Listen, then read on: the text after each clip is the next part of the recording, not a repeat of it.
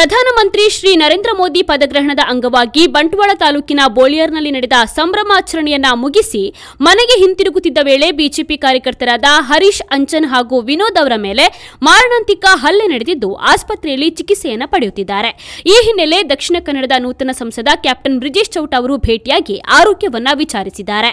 ನಂತರ ಮಾತನಾಡಿದ ಅವರು, ಜಿಲ್ಲೆಯಲ್ಲಿ ನಮ್ಮ ಕಾರ್ಯಕರ್ತರ ಮೇಲೆ ಸರಣಿ ಹಲ್ಲೆಗಳು ನಡೆಯುತ್ತಿದ್ದು, ಇದರ ಕುರಿತು ಸಮಗ್ರವಾದ ತನಿಖೆಯನ್ನು ನಡೆಸುವಂತೆ ಪೊಲೀಸ್ ಅಧಿಕಾರಿಗಳಿಗೆ ಎಚ್ಚರಿಕೆಯನ್ನು ನೀಡಿದ್ದಾರೆ.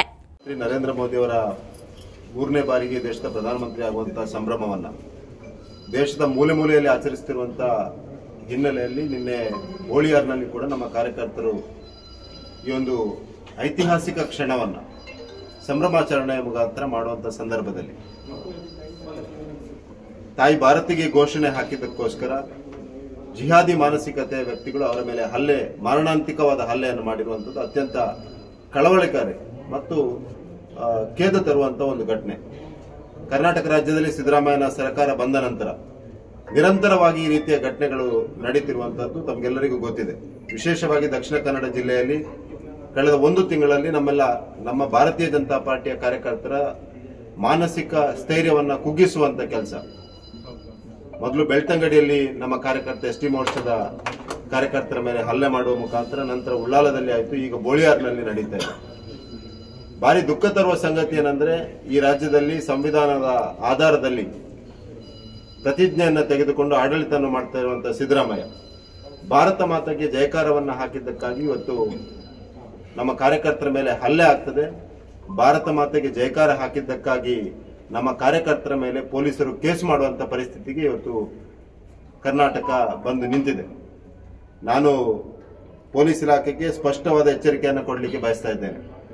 ದಕ್ಷಿಣ ಕನ್ನಡ ಜಿಲ್ಲೆಯಲ್ಲಿ ಕಾನೂನು ಸುವ್ಯವಸ್ಥೆಯನ್ನು ಮೇಂಟೈನ್ ಮಾಡೋದು ಮತ್ತು ಶಾಂತಿಯನ್ನು ಕಾಪಾಡುವುದು ಪೊಲೀಸ್ ಇಲಾಖೆಯ ಆದ್ಯ ಕರ್ತವ್ಯ.